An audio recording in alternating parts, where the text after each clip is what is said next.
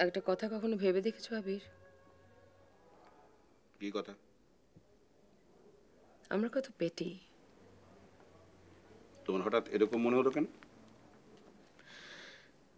কি বিশাল একটা কাণ্ড ঘটে গেল আমেরিকায়। সেটা যতবারই ভাবছি ততবারই মনে হচ্ছে যে আমরা আমাদের পার্সোনাল ক্রাইসিসটাকে কত বড় করে দেখি তাই না?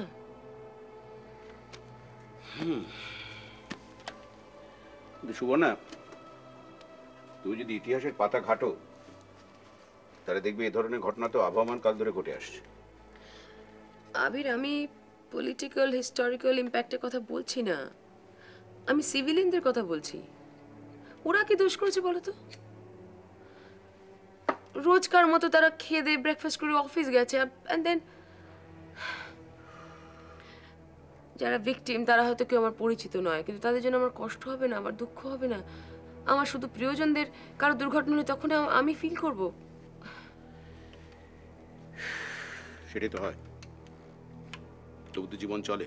ইউ টকিং রাবিশ জীবন চলবে সেটা তো সবাই জানে। ধরো আমার বাবা আমার বাবা যেদিন মার্ডার হলো। আমার কষ্ট হয়নি? কিছু কম কষ্ট হয়েছিল? কিন্তু সেই কষ্টের ইন্টেন্সিটি আজকে কি সেম ইন্টেন্সিটি আছে? অবভিয়াসলি নেই। কমে গেছে।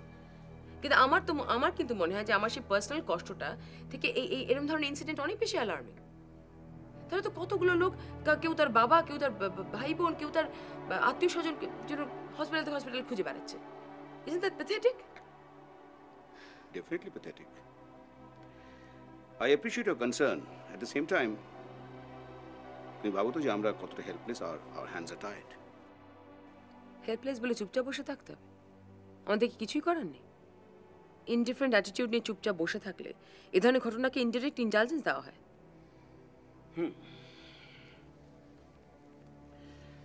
What do want to do now জানি না। জানি না।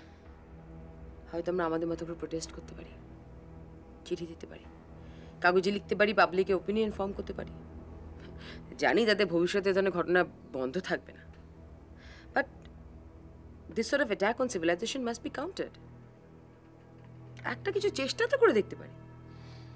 ফাইন তাহলে সিআইএল থেকে হোক পার্সোনাল লেভেল হোক let's write for the timing আমাদের পেটি পার্সোনাল প্রবলেম ভুলে র্যাট্রেস থেকে বেরিয়ে আমরা কংক্রিট কিছু একটা করতে পারি। Are you serious or you think I am overreacting I am being romantic not at all I very serious but let's do it now